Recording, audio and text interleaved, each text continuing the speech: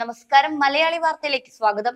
ദീർഘകാലത്തെ ഗവേഷണത്തിനൊടുവിൽ പുതിയ രക്തഗ്രൂപ്പ് തിരിച്ചറിഞ്ഞ ശാസ്ത്രലോകം മാൽ എന്നു പേരിട്ട പുതിയ രക്തഗ്രൂപ്പിന്റെ കണ്ടെത്തലോടെ അൻപത് വർഷം പഴക്കമുള്ള നിഗൂഢതയ്ക്ക് പരിഹാരമായി. ആയിരത്തി തൊള്ളായിരത്തി എഴുപത്തിരണ്ടിൽ ഒരു ഗർഭിണിയുടെ രക്തസാമ്പിൾ എടുത്തപ്പോൾ അക്കാലത്ത് മറ്റെല്ലാ ചുവന്ന രക്താണുക്കളിലും കാണപ്പെടുന്ന ഉപരിതല തന്മാത്ര നഷ്ടപ്പെട്ടതായി doctor തിരിച്ചറിയുകയുണ്ടായി.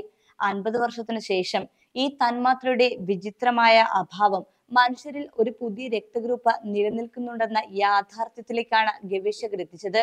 N H S blood and transplant international blood group reference laboratory Bristol university എന്നിവിടങ്ങളിൽ നിന്നുള്ള ഗവേഷകരാണ് മുമ്പ് അറിയപ്പെട്ടിരുന്നതും എന്നാൽ നിഗൂഢവുമായ ആന്റിജൻ ജനിതക പശ്ചാത്തലം തിരിച്ചറിഞ്ഞത്. ആയിരത്തി തൊള്ളായിരത്തി എഴുപത്തിരണ്ടിലെ രോഗിയുടെ രക്തത്തിൽ നിന്ന് കാണാതായ ആന്റിജൻ തന്മാത്ര തൊണ്ണൂറ്റി ഒൻപത് ദശാംശം ഒൻപത് ശതമാനത്തിലധികം ആളുകളിലും ഉള്ളതാണെന്ന് നേരത്തെയുള്ള ഗവേഷണം കണ്ടെത്തിയിരുന്നു. ചില പ്രത്യേക സവിശേഷതകളുള്ള വളരെ ചെറിയ പ്രോട്ടീനാണ് മാൽ. അതുകൊണ്ട് തന്നെ ഇത് എളുപ്പം തിരിച്ചറിയുക എന്നത് ബുദ്ധിമുട്ടാണെന്ന് university of England cell biologist Tim Satchwell പറഞ്ഞു. ഒരാൾക്ക് അവരുടെ മാൽ ജീനുകളുടെ വകഭേദം സംബന്ധിച്ച പതിപ്പുണ്ടെങ്കിൽ ഗർഭിണിയായ രോഗിയെ പോലെ ആന്റിജൻ നെഗറ്റീവായ രക്തഗ്രൂപ്പിലെത്തും.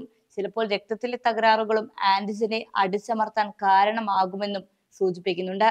പ്രോട്ടീനുകളെ എൻകോഡ് ചെയ്യുന്ന സംവിധാനങ്ങൾ ഗവേഷക സംഘം ഇതിനായി ഉപയോഗിച്ചു. ഇതൊരു വലിയ നേട്ടത്തെ പ്രതിനിധീകരിക്കുന്നുണ്ട്. ഒടുവിൽ അപൂർവവും പ്രധാനപ്പെട്ടതുമായ ഈ പുതിയ രക്തഗ്രൂപ്പ് സംവിധാനം കണ്ടെത്താനായെന്നും രോഗികൾക്ക് മികച്ച പരിചരണം നൽകാൻ കഴിയുന്ന പ്രയത്നത്തിന്റെ പരിസമാപ്തിയാണിതെന്നും U K national health service haematologist Louise Tilley പറഞ്ഞു. ഏകദേശം ഇരുപത് വർഷത്തോളം വ്യക്തിപരമായി ഇവർ ഈ ഗവേഷണത്തിന് ചെലവഴിച്ചു. എ ബി ഒ രക്തഗ്രൂപ്പുകളും അതിന്റെ ഗുണദോഷങ്ങളും നമുക്ക് പരിചിതമാണ്. എന്നാൽ മനുഷ്യരിൽ രക്തകോശങ്ങളെ ആവരണം ചെയ്യുന്ന വ്യത്യസ്ത ഉപരിതലം പ്രോട്ടീനുകളുടെയും പഞ്ചസാരകളുടെയും അടിസ്ഥാനത്തിൽ വിവിധതരം രക്തഗ്രൂപ്പുകളുണ്ട്. സ്വന്തത്തെ മറ്റൊരാളിൽ നിന്ന് വേർതിരിക്കുന്നതിന് നമ്മുടെ ശരീരം ഈ ആന്റിജൻ തന്മാത്രകളെ തിരിച്ചറിയൽ അടയാളങ്ങളായി ഉപയോഗിക്കുന്നു. രക്തം സ്വീകരിക്കുമ്പോൾ പൊരുത്തം നോക്കുന്നതും ഈ പ്രത്യേകതകൾ വെച്ചാണ്. മിക്ക പ്രധാന രക്തഗ്രൂപ്പുകളും ഇരുപതാം നൂറ്റാണ്ടിന്റെ തുടക്കത്തിലാണ് തിരിച്ചറിഞ്ഞത്.